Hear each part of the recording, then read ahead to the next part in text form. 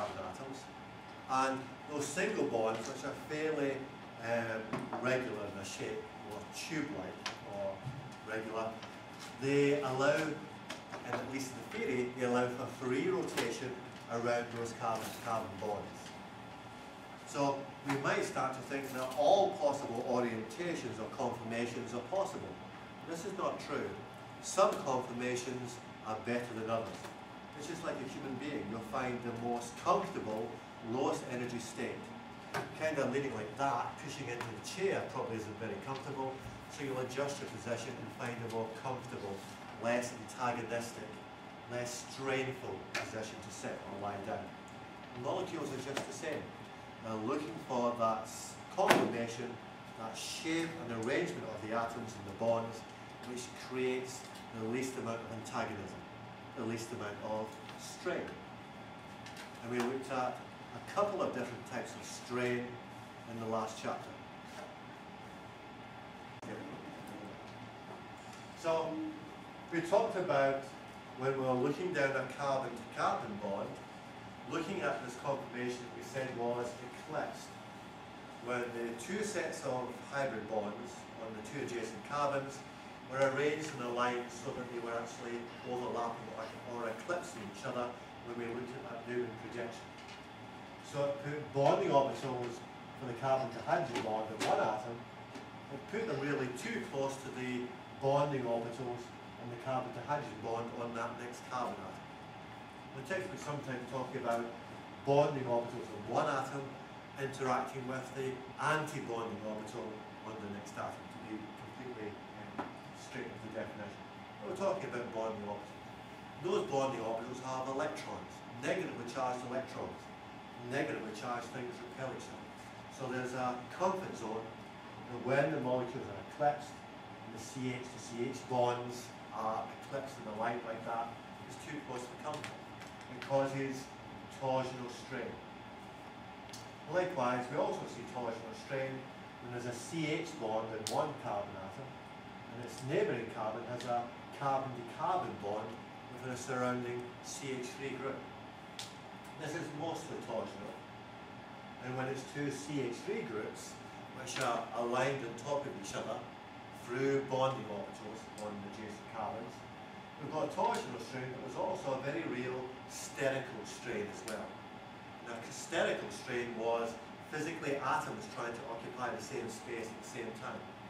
So nuclei with positively charged protons repelling each other, too close to contact. Then related to that, even when the molecule is staggered at 60 degrees to alleviate that, these bulky CH3 groups, which are branching out like roots on an umbrella, they're still causing sterical strain because the atoms and the hydrogen attached are getting too close for comfort. We saw that with the molecular models. You could easily make the, the little white beads actually bang into each other in a particular conformation.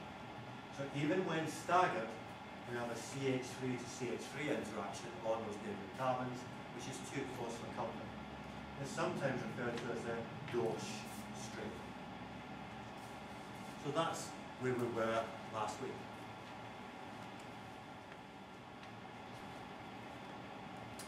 So another idea which talks about strain in molecules is the Baeyer theory about angle strain. It's based on the idea for an sp3 hybridized carbon atom, a tetrahedral carbon, the most comfortable conformation, keeping those bonding electrons as far apart from each other as possible. Most comfortable conformation is that tetrahedral shape with a bond angle of about 109.4 degrees each time It keeps the bonds, the electrons in those bonds, as far apart from each other as possible. So that gives us the maximum comfort zone. And Baeyer postulated that as we deviate from that 109.4 angle, so going down to 108, or down to 90, or even down to 60 with a triangular molecule, a cyclopropane derivative, as that angle decreases, increasingly puts those bonding electrons closer together. Negatively charged pairs of electrons being squashed closer together around that carbon atom point. That's not good for the molecule when negatively charged electrons repel other negatively charged electrons. So Baeyer postulated that increased deviation would cause an increased angle strain, as he described it. As that angle eh, strain increases, he said that molecules would therefore be higher and higher in energy. To a fair degree, this has proved true. You see that these molecules, when they combust, the energy it's given off is a lot more energy than you'd normally expect for that chemical formula.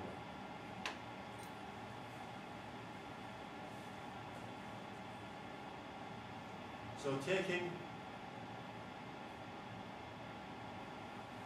simplified form of the equation for the combustion of a hydrocarbon, CH2 units mainly making up the hydrocarbon molecule, and we can break down the energy given off to an average per CH2 unit in the molecule. So regardless of how big or small the molecule is, when we break it down by every CH2 unit, the amount of energy for that CH2 unit, we get a comparative amount of energy in the molecule.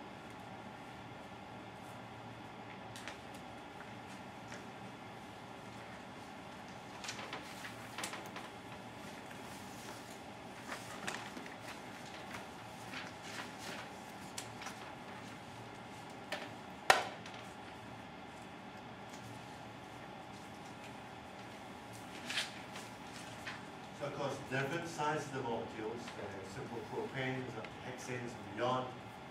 The total heat of combustion for these molecules certainly varies greatly. And when we take it down to per CH2 unit, it comes out to a pretty close and consistent amount of energy, around about that 658, 659 kilojoules per mole.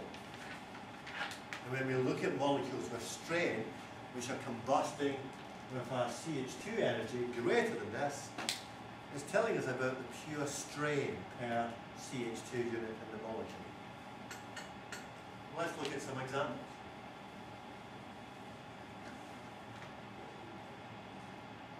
Now, one thing to mention now is that before we look at these examples, theory on angle strain predicted that cyclopropane and cyclobutane would have strain energy. Baeyer's video strain predicted that cyclopentane and cyclohexane would be flat and strain-free molecules. So effectively general idea, if the smaller size cycles, there should be smaller bond angles and greater strain. So he's saying that molecules with a three carbon ring and four carbon would have angle strain, 5 and 6 being close to that perfect 109.4 degrees angle, he predicted that 5 carbon and 6 carbon rings would be strain free. So let's take a look and see if he was right.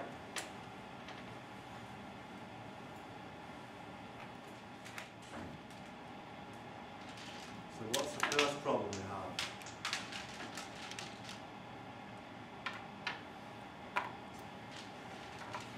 first problem surely is, if we're trying to make a cyclopropane ring with three carbons using those shorter stems for single bonds, we can't really get that third bond in without popping something on the other side of the molecule.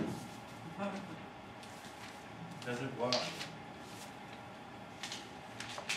So we're going to have to cheat slightly and use the longer stocks, which are normally used for uh, double bonds,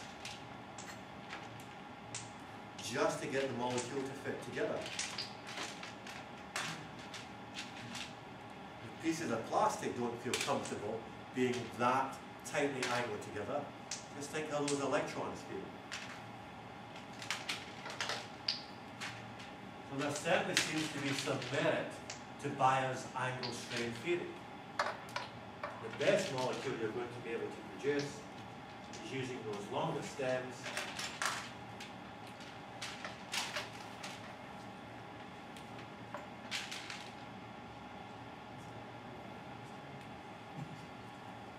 on the molecule. You're cheating slightly. Now the other thing we see when we make this molecule up is that looking along any particular carbon to carbon bond, what's the position of uh, CH bonds on those adjacent carbons?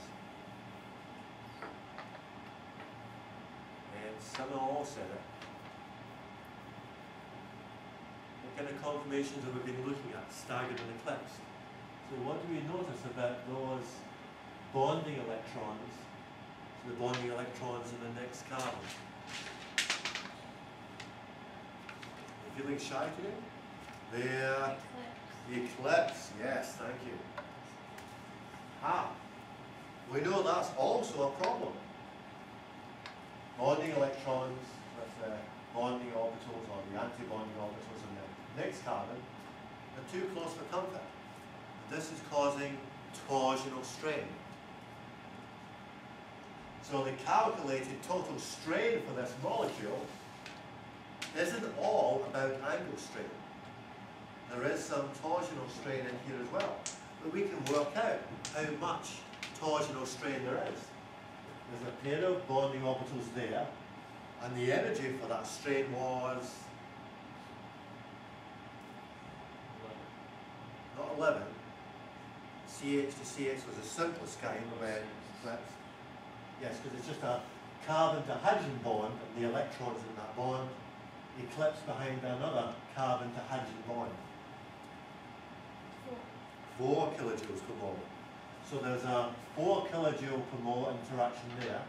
There's another four there down below, which gives us eight. And from this carbon to this carbon, above and below, that's another eight. And then from here to here around the back, there's another four kilojoules and another four kilojoules there as well. So that gives us 8, 16, 24 kilojoules, which can be explained by torsional strain. But that doesn't explain all of the strain energy in the molecule. Torsional strain between bonding pairs of electrons is only explaining 24 kilojoules.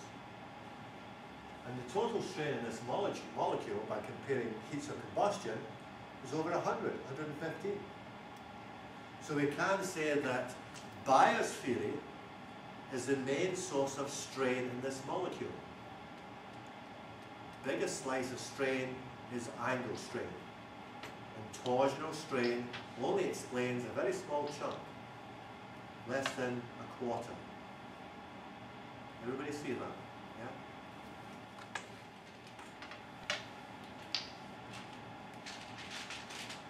Here's Master Carlos today.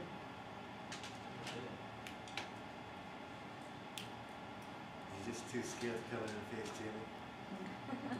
He said screw uh, chemistry and moved out. Today he said screw Dr. Elliott, screw chemistry. Son of a gun. I bet he did.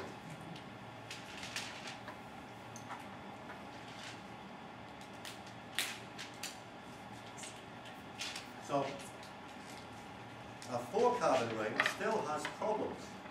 And when we look at the heat of combustion and the total energy divided down to just CH2 groups, the energy for the CH, 2 groups is still too much.